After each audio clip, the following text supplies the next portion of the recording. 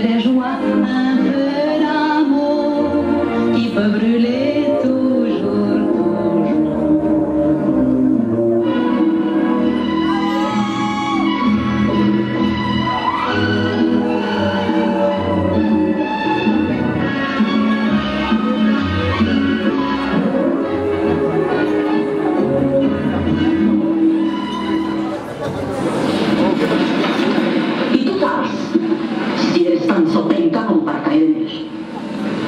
Porque estás que todo lo hace por tu linda cara. Y está enamorado como un bruto de ti.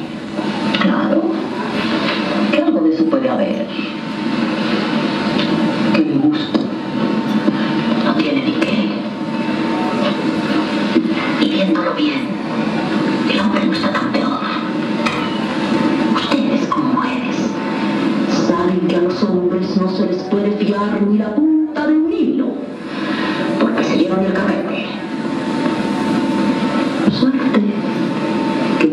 Deus nos soltando.